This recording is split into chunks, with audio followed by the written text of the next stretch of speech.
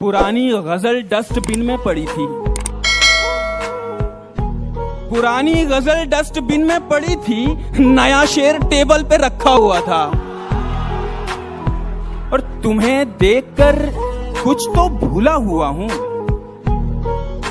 तुम्हें देखकर कुछ तो भूला हुआ हूँ। अरे, याद आया, मैं रूठा हुआ था।